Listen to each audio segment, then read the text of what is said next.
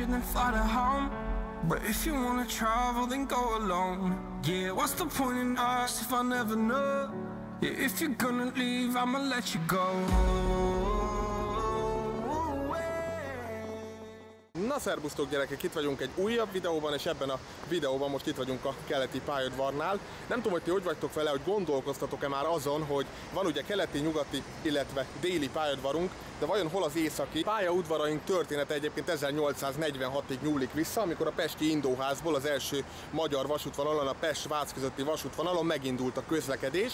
Ugye a Pesti Indóház az a Terész körúton volt megtalálható, tulajdonképpen a mai nyugati pályaudvar, bár a mai nyugati pályaudvar egy kicsit beljebb helyezkedik el, mint annak idején a Pesti Indóház. Ezek után 1861-ben jött létre a déli pályaudvar, melyet a déli vasúttársaság üzemeltetett, és nyilvánvalóan ugye a vasúttársaság nevéből kapta a déli kifejezés, és így lett déli pályaudvar. A vasúttársaság pedig onnan kapta a nevét, hogy Fiume és Triest irányába üzemeltetett személyforgalmat, így a személyforgalom irányából adódóan jött a déli kifejezés.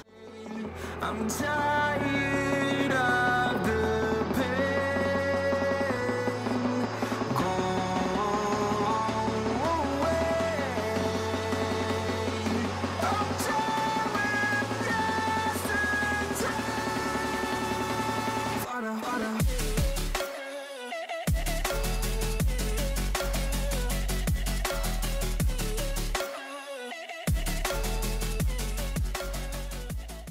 keleti és a nyugati egyszerre kapták a nevüket 1892-ben, amikor mind a kettő a MÁV gondozásába került, és hát a nyugatiból az utasok Párizs és Bécs felé, míg a keletiből a Balkánra vagy Erdélybe tudtak utazni, úgyhogy talán egyértelmű, hogy miért kapták az adott nevüket. Most azonban visszaugrunk az időbe, hiszen 1863-ban, amikor Budapestnek még csak két pályaudvara volt, a Pesti Indóház, illetve a Déli pályaudvar, akkor egy bizonyos északi vasúttársaságtól felvetődött az ötlet, hogy legyen egy északi pályaudvar, és ezt a tervet meg is valósították. Amíg az északi vasúttársaságé volt, addig csak teherforgalom volt rajta, majd az északi vasúttársaság csődbe ment, és a MÁV gondozásába került a pályaudvar, és ekkor nyílt meg a személyforgalom is rajta, méghozzá a Salgotarján Losonc vonalszakaszon.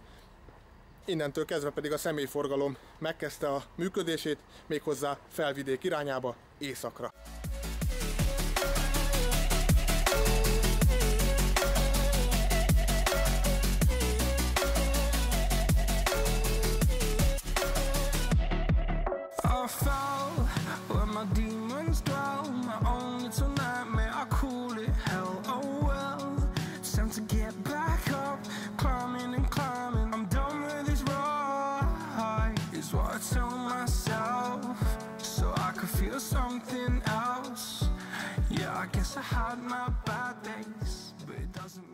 Na de akkor hol is van ez az északi pályaudvar? Hát először is hivatalosan sosem volt északi pályaudvar, tehát soha nem hívták így.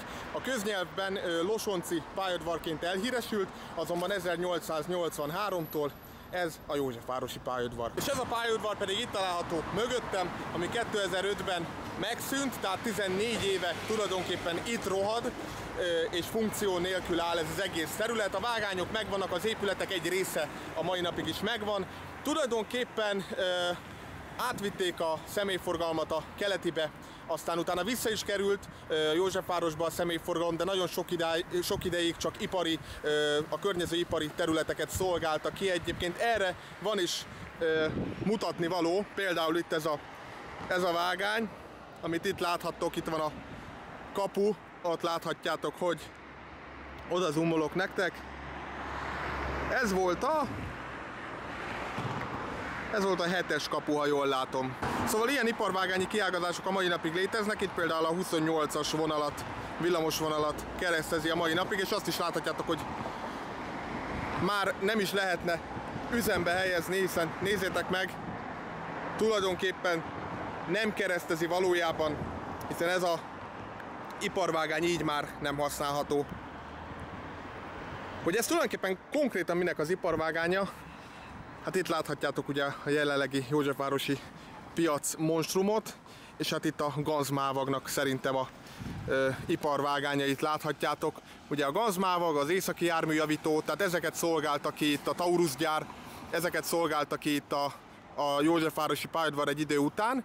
Aztán utána megint visszakerült a személyforgalom, de már a régi fényében sosem tündökölt, és tulajdonképpen 2005-ben ilyen formában szűnt meg. Itt is, itt is van egy vágány, amit már félig meddig leaszfaltoztak, de azért a vágány az ott van teljes egészében, csak az aszfalt borítja. A Hungária felett, ahol láthatjátok most az egyes villamost is elsuhanni, hát illetve alatta, bocsánat, de van két vasúti híd, bizony ez kettő egyébként, mert hogy van közte egy rés. Az egyik híd, ami tőlünk most távolabb van, az a keleti pályadvarról jön, és így tulajdonképpen itt kanyarodik el, illetve hát ívben halad, hiszen a vasútnál nincsen kanyar, és ez a vasúti híd, ami pedig most hozzánk közel áll, ez egy halott vasúti híd, olyan szempontból, hogy jelenleg már nem üzemel, hiszen a valamikori éjszakai pályaudvar, azaz a Józsefvárosi pályaudvarnak a kivezető hídja. Hát tulajdonképpen ez a története és így jött létre az északi pályaudvar, melyet hivatalosan sosem hívtak így, és a, az utolsó személyforgalmi vonat az 19 óra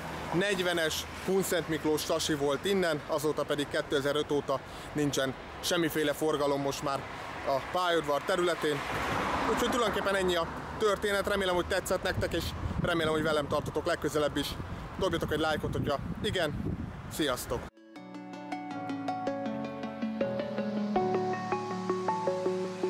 I'm alone, I'm a broken home. I gave you all the bricks that I own and know.